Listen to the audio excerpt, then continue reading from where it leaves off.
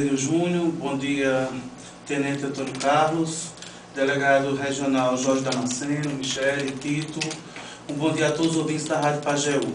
É, a nossa avaliação, Júnior, vai ser feita na próxima segunda-feira com toda a equipe da Secretaria de Cultura para fazermos essa avaliação, para ver o que foi que deu certo, o que foi que está errado, o que precisamos melhorar para o próximo carnaval. Agora, de início, mesmo sem essa avaliação, pelo contato direto que nós tivemos com as pessoas durante esses quatro dias de festividades momescas, o que dá a entender que a nossa avaliação é, antecipada pode ser uma avaliação positiva, pois nós procuramos, dentro das nossas condições, preparar uma grade de programação que venha agradar a todos, de criança, adultos, jovens e também os idosos, que foi uma forma assim, muito alegre, nós vimos muitos idosos brincando também no carnaval de Afogados da Caseira. E tudo isso, né, o brilhantismo maior para o carnaval ser positivo é quando a gente termina um evento e pode fazer uma consideração que o carnaval foi em paz, foi tranquilo. Uhum. Uh, delegado regional Jorge Damasceno, há uma estatística já específica sobre esse período de carnaval, se ele teve mais registros do que em anos anteriores. A impressão que a gente tem é de que, graças ao trabalho das polícias, em linhas gerais, o evento foi mais tranquilo. Né? Mas há sempre aquelas ocorrências de menor vulto que são registradas. Qual é a avaliação da Polícia Civil? Bom dia. Bom dia, Dio Júnior. Bom dia, secretário. Bom dia, Tenente Antônio Carlos. Bom dia aos ouvintes da Rádio Pajeú. É, muita alegria que nós anunciamos que o Carnaval de 2013 foi muito tranquilo. Né? As polícias estiveram atuando, né? foi bem organizada a parte da, da, dos municípios, os focos, onde ocorreram os focos. Tem afogagem da Engazeira como Tabira. E isso proporcionou um dos melhores carnavais da, da área que nós tivemos. Inclusive também no estado todo, né? muito tranquilo. Inclusive no sábado e na segunda-feira, batendo inclusive períodos anteriores, né? em número de redução de crimes violentos, letais, intencionais e que, no geral, no estado todo, o carnaval foi muito tranquilo. Uhum. É, a região já é uma, uma região muito tranquila por, por natureza, né, doutor Jorge? Mas nesse período há sempre uma preocupação maior. Para a regional, quais foram as cidades que, que tiveram maior atenção? Realmente Afogados e Itabira foi onde aconteceram as maiores concentrações? Exatamente, os dois polos nós reunimos é, equipes nesses dois locais e concentramos. Todos os delegados de polícia estiveram empenhados no carnaval esse ano, é, se revezando, equipes de escrivães e agentes. Né? A Polícia Militar teve muito bem distribuída em toda a área. Isso permitiu é, um carnaval tranquilo. Tivemos poucas ocorrências, nós registramos um, uma prisão em flagrante né, nos focos de carnaval, uma prisão em flagrante e por agressão contra a mulher e 10 termos circunstanciados de ocorrência é, com ocorrências de lesão corporal predominando né, e também é, perturbação do sossego. Uhum. Conosco também aqui o Tenente Antônio Carlos. Tenente, para a Polícia Militar, que avaliação é feita de todo esse carnaval nas cidades que integram a área de jurisdição do, do 23º Batalhão. Bom dia, prazer tê-lo conosco também.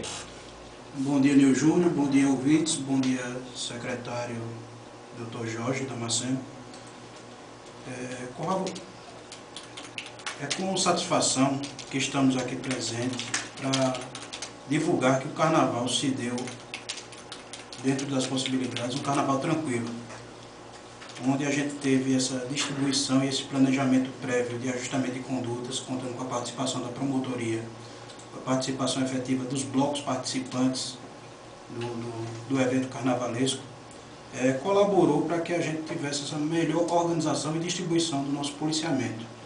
Isso fez com que tivéssemos rondas é, programadas no, no caráter de prevenção às ocorrências colaborando com o final da, desse sucesso que registramos, conforme já foi dito pelo Dr. Jorge, registramos apenas 10 TCOs no foco de animação e uma prisão em flagrante que foi de violência doméstica.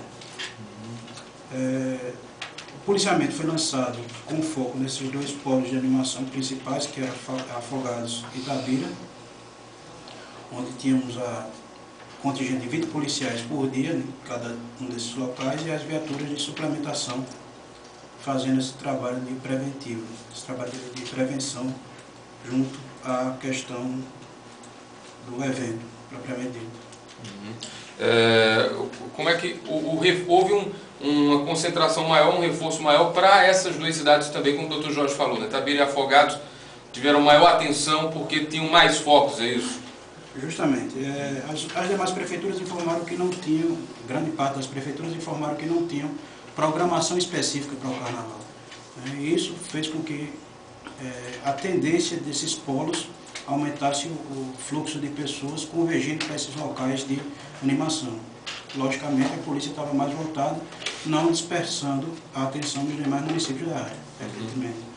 César, eu já recebi aqui uma observação é, de um ouvinte que me ligava sobre a questão da, de como a cidade ficava após os eventos da, da, do Blocão em relação às vias, à limpeza. Inclusive, é, houve, houve reclamações de que, eu lembro que ontem cedo, na, ontem nós tivemos a abertura da quaresma, celebrações já pela manhã, e a limpeza começou, eu diria que por volta de 7 e meia para 8 horas, pelo que a gente pôde perceber.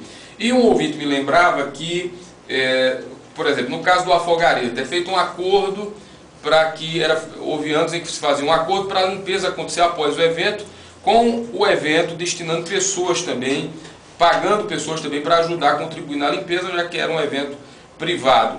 Dá para fazer a mesma coisa com o Bloco a Onda para que no dia seguinte, já cedo, a gente tenha a cidade limpa numa parceria com a prefeitura? Você acha essa sugestão interessante? É, veja só, Nilton. Antes eu queria aqui registrar a ausência de Sandrinho é, por estar resolvendo algumas questões pessoais, por, por ser também secretário de Cultura e Esportes, ele também acumula a função de assessor do prefeito patriota.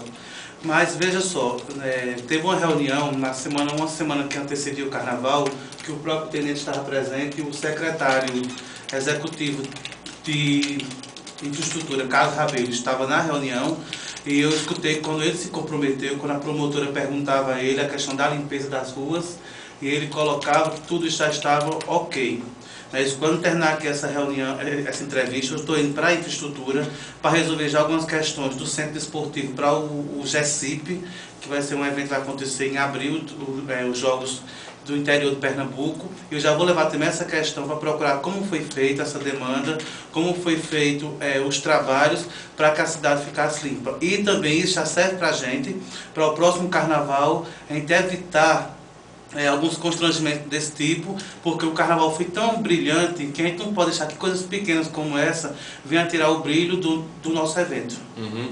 O, o, uma, uma coisa que se falou muito, eu tive muitos relatos né, de garrafas de vidro sendo, principalmente essa long neck, estava circulando, circulando muito e havia alguns pontos vidro. Como é que foi, tenente, a fiscalização da polícia para essas situações e também com o apoio da Polícia Civil, já que se falou muito em que se evitasse as garrafas de vidro, mas essa long neck me parece que é mais complicada para fiscalizar, porque é menorzinha, né?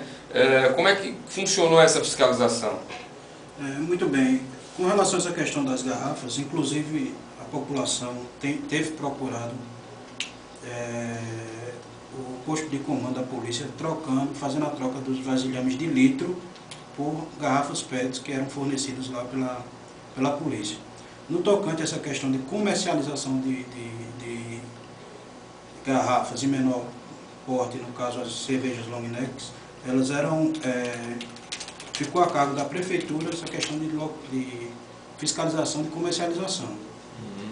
Mas no tocante a essa questão da troca de vasilhames de litro, das garrafas maiores de litro, aconteceu com bastante frequência e nós éramos constantemente procurados pela população para fazer a substituição dos, dos recipientes de vidro.